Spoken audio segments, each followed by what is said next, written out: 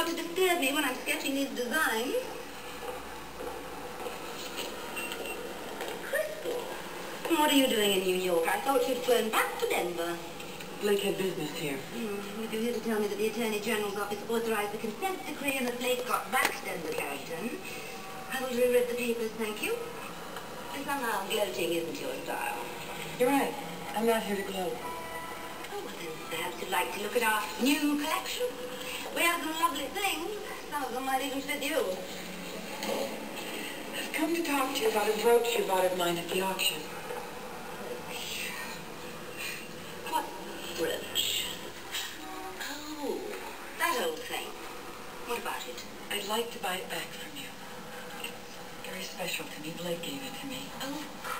It had some sloppy romantic sentiment engraved on the back to my darling Krystle. You knew that and you bought it. Well, of course I didn't know it. I only realized it when I went to put it on. But But what?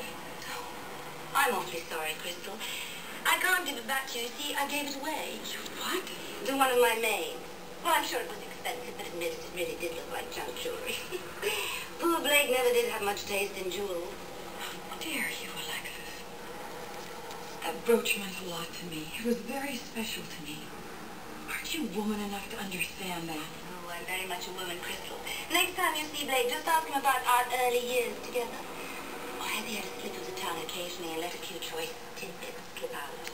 Is that what's bugging you? No, that's not what's bugging me. It's you.